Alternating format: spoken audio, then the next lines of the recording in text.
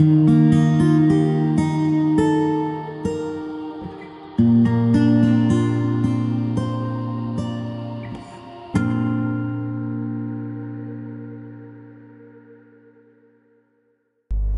everybody. We all have stages in our life, right? It begins with childhood, extends to becoming adolescence, then there is an adulthood and an old age.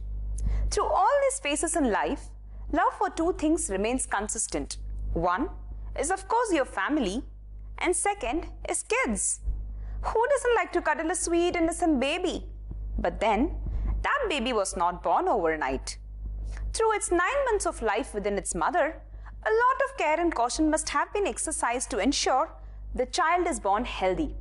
Yes, there are doctors who help most couples sail through these nine months safely. But then, that doesn't happen without the help of diagnostic tests, right? Cytogenetics, powered by ThyroCare, is one such unique tool that can be used to study 1. The well being of your unborn child, 2 to identify the cause for miscarriages or infertility. 3. Even certain types of cancer.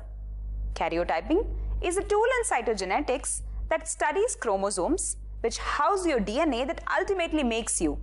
It's basically a microscience to identify macro defects. What all can a simple karyotyping test identify? Disorders like Down syndrome or trisomy 21, Edwards syndrome or trisomy 18, or even certain cancers which are familial. So, if you are more than 30 years of age and are planning for a pregnancy, or if you already have a child which is affected by such genetic disorders, or your family has a history of such disorders, or even if you have been experiencing repeated fetal loss, it's time to get a karyotyping test done. Yes, trust ThyroCare for all your cytogenetics need.